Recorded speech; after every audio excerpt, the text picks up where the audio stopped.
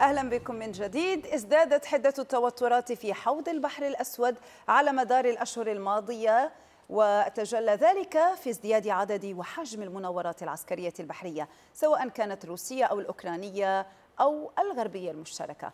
في أحدث التصريحات المتعلقة بهذا الشأن قالت وزارة الدفاع الروسية إن النشاط العسكري لأمريكا ولحلفائها في منطقة البحر الأسود قد ازداد أعلنت عن رصد واعتراض أربع طائرات استطلاع تابعة لحلف الناتو. اعتبرت وزارة الدفاع الروسية اعتبرت التدريبات التي يجريها الناتو في المنطقة القريبة من حدود روسيا بمثابة أعمال عدوانية من قبل الولايات المتحدة. تشكل تهديدا للأمن الإقليمي على حد وصفها.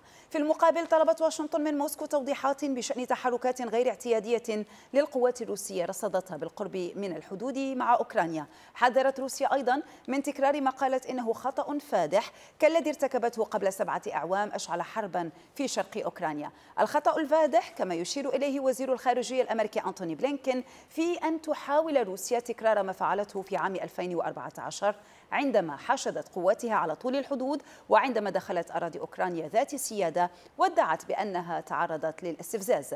منذ عام 2014 إذن ومنطقة تونباس الواقعة في شرق أوكرانيا تشهد حربا بين القوات الحكومية والانفصاليين الموالين لروسيا أودت بحياة أكثر من 13 ألف شخص.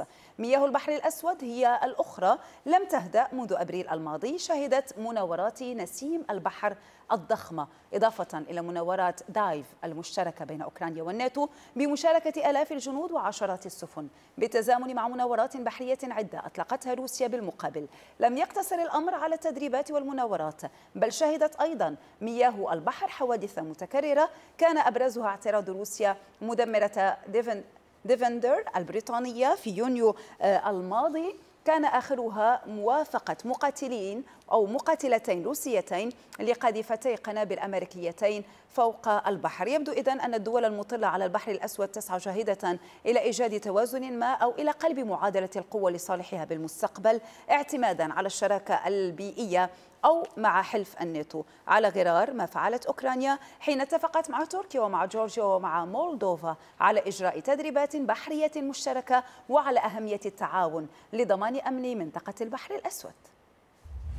للمرة الثانية في العام الحالي. تكشف صور الأقمار الصناعية وصور وسائل التواصل الاجتماعي عن انتشار آلاف القوات الروسية ومئات المركبات المدرعة وأنظمة مدفعية بعيدا عن قواعدها المعتادة في مواقع متاخمة للحدود مع أوكرانيا. واعتبرت التغييرات في القوات الروسية وفق صحيفة The National Interest أنها مقلقة إلى درجة أن مدير وكالة المخابرات المركزية الأمريكية بيل بيرنز ناقش في موسكو وعي واشنطن ومخاوفها بشأن التحركات الروسية والتي وصفها متحدث باسم البنتاغون بأنها ذات نطاق غير عادي الصحيفة ذكرت بحشد روسيا قواتها قرب أوكرانيا في مارس وأبريل واعتبرت أن هدف التحركات كان إظهارا للقوة. هدفه ردع العمليات الأوكرانية والضغط على الرئيس الأمريكي جو بايدن للاجتماع مع نظيره فلاديمير بوتين.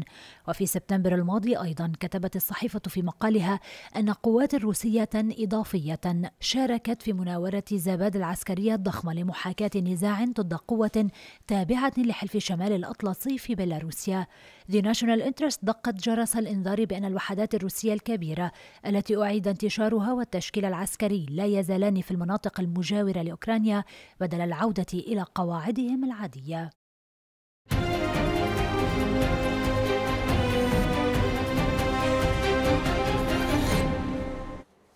بين روسيا والاتحاد الأوروبي العديد من الملفات الخلافية منها ما يتعلق بالحريات ومنها ما يتعلق بالسياسة أبرز تلك الخلافات في هذا السياق Thank you.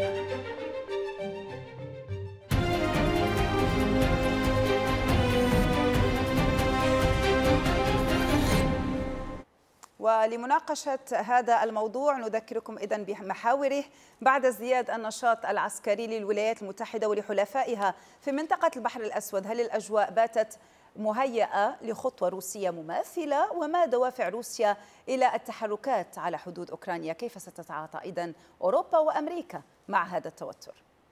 أرحب بضيوفي من واشنطن عبر سكايب السيد لورنس كورب مساعد وزير الدفاع الأمريكي الأسبق من موسكو أرحب بضيفي سيد فيكتور أولوفيتش الخبير في مركز السياسات الراهنة. أهلا بكما معي. أبدأ مع السيد لورنس من واشنطن. ما الهدف من زيادة هذا النشاط العسكري للولايات المتحدة الأمريكية وللحلفاء في منطقة البحر الأسود؟ أعتقد أنهم يحاولوا أن يبعثوا برسالة لروسيا بأنه لن نبقى مكتوفي الأيدي كما فعلنا عام 2014 عندما قامت روسيا بضم شرق أوكرانيا أو القرم. أعتقد أن هذا ما يحاولون إبرازه لأنه عندما حشدت روسيا معداتها وجنودها على الحدود فذهبت قوات الناتو إلى البحر الأسود وهي مياه دولية. وهي توضح أننا لن نبقى مكتوفي الأيدي كما فعلنا عام 2014 ونحن أيضا نقدم المساعدات العسكرية لأوكرانيا. وكما ذكرتم سابقا فأنا مدير وكالة الاستخبارات المركزية. كان يعطي معلومات استخباراتية لمساعدتهم في مواجهة هذا الحشد الروسي. سيد فيكتور برأيكم كيف ستتصرف روسيا في هذه الحالة مع هذا النشاط العسكري الأمريكي الأوروبي المتزايد في البحر الأسود؟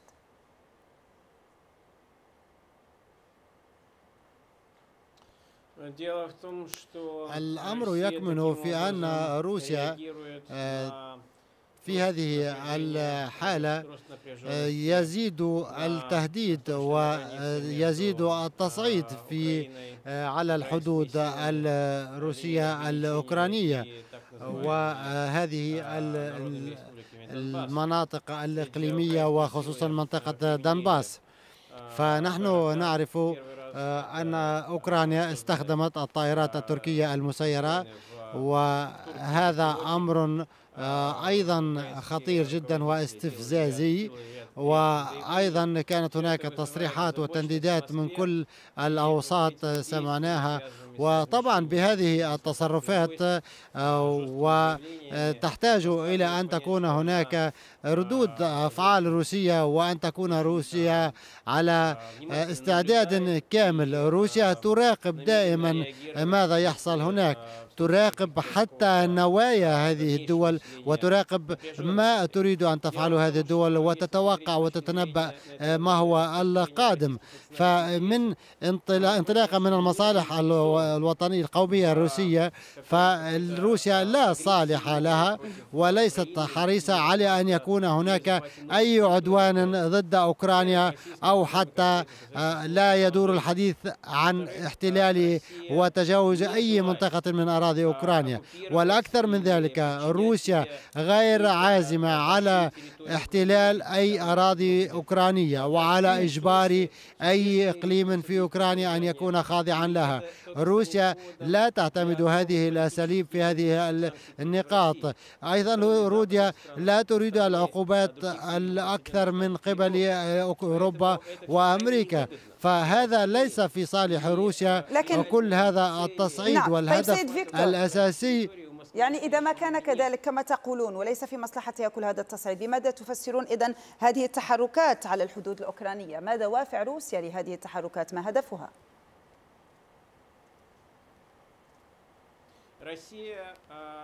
هذه التحركات أيضا تعطي من خلالها روسيا نظرة ورسالة بأن روسيا تتذمر من التحركات ومن التصرفات الأوكرانية أو الأمريكية بالتعاون مع الاتحاد الأوروبي.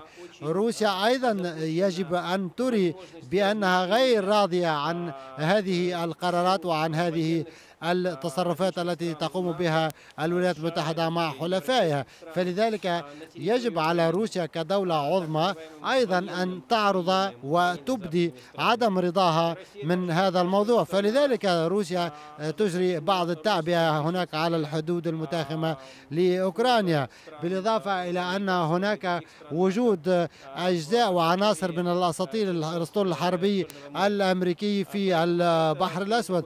فكل ذلك بلا شك آه، يزعج روسيا وروسيا تقوم بالتعبئة للإجابة على سؤالكم نعم. لكي تضغط على الدول الأوروبية لكي تغير من مسار تصرفاتها. طيب أستاذ لورانس آه، ماذا سيكون رد فعل الولايات المتحدة الأمريكية برأيكم وأوروبا أيضا؟ آه، كيف يمكن أو إلى أين يمكن أن تذهب في تعاطيها مع هذه التحركات الروسية قرب أوكرانيا؟ حتى لا يتكرر نفس السيناريو ما عشناه قبل سبع سنوات.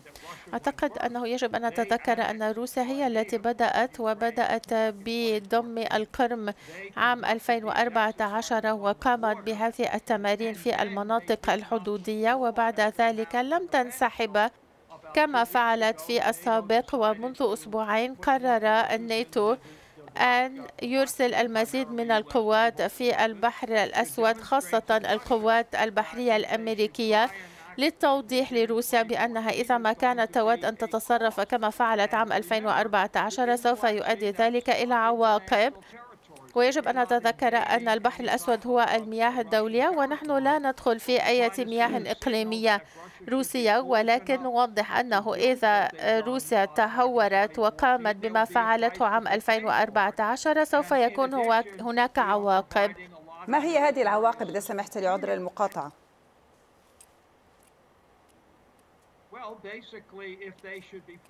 إذا ما تهورت وقررت أن تجتاح أوكرانيا سوف يكون هناك المزيد من العقوبات التي سوف تؤذي الاقتصاد الروسي. ولكن أكثر من ذلك فإن قواتنا في البحر الأسود يمكن أن تقدم المساعدات للقوات الأوكرانية في مساعدتها لمواجهة أي اجتياح روسي. ويجب أن نتذكر أن أوكرانيا تود أن تنضم إلى حلف الناتو.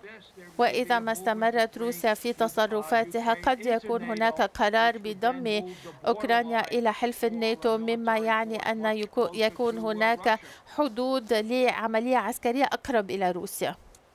ما رأيكم سيد فيكتور؟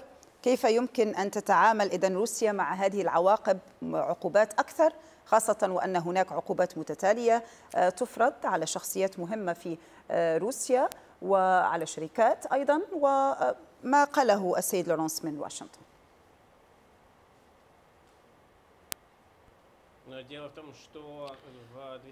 الأمر يكمن أنه في عام 2014 في أوكرانيا كان هناك انقلاب فلنبدأ من هناك. وكانت هناك أوضاع سياسية وهرب الرئيس السابق إلى روسيا وأتت إلى هناك وتسلمت مقاليد السلطة آه، سلطة أوكرانية جديدة.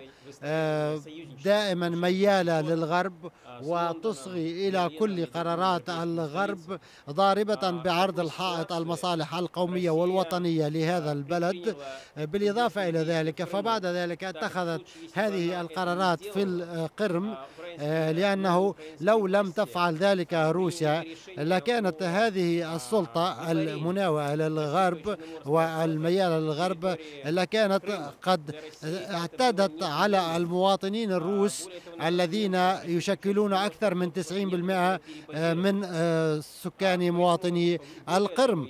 فنحن قمنا بالدفاع عن مواطنينا في آه، القرم. ولكن ليس هذا موضوع الحديث الأساسي الذي آه، مدار حديثنا اليوم. فكانت لدى موسكو خيارات محدودة آنذاك.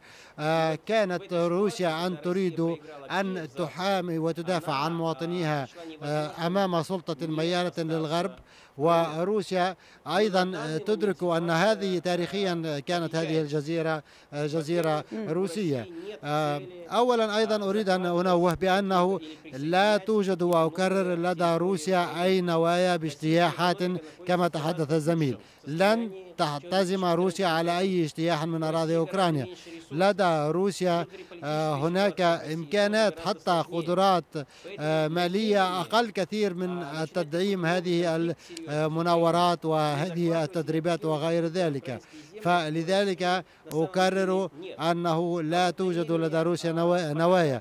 ولكن نوايا أن تري روسيا الدول الغربية وأمريكا وقيادة أوكرانيا أيضا بأن روسيا أيضا نعم. تعتزم بشكل حازم وصارم أن تتخذ قرارات حازمة وصارمة أيضا من خلال أي تحركات أو أي خطر قد يهدد الأمن القومي لدولة روسيا يعني آه، سيد لورانس تابعت السيد فيكتور يبدو بأن روسيا ليس لديها أي نوايا كما يقول آه، ومستعدة للدفاع كما قال آه، عن نفسها. لكن إذا ما عدنا إلى موضوع التوتر في منطقة البحر الأسود يعني أهمية التعاون لضمان أمن هذه المنطقة وأيضا أهمية الابتعاد عن أي توتر يمكن أن يكلف الطرفين يعني الكثير خاصة وأن لديهم جبهات مفتوحة على مناطق مختلفة وعلى صعد مختلفة.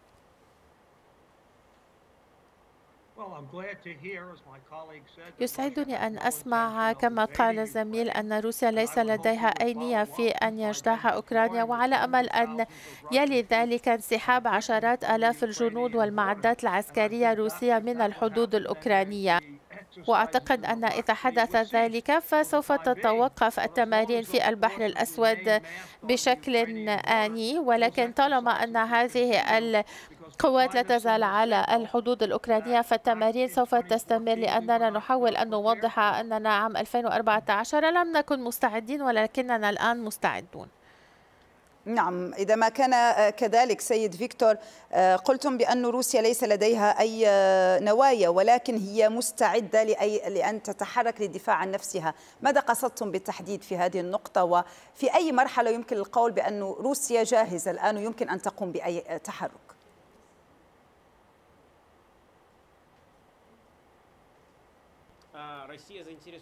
روسيا كما ذكرت حريصة بأن لا تستخدم القوات الأوكرانية أي عناصر جديدة عسكرية مثل الطائرات المسيرة بايكار بايركتار ونحن نعرف أن هذه الطائرات المسيرة المصنعة في تركيا قد أثبتت فعاليتها الكبيرة في المجال العسكري وقد خصوصا في الحرب بين آه، أوكرانيا وأذربيجان في تلك الفترة. فلذلك روسيا إذا استمرت أوكرانيا واستخدمت هذه الطائرات حتى أن روسيا لا تريد أن تزود أيضا آه، آه، تركيا أو الدول الأخرى القدرات العسكرية الكبيرة.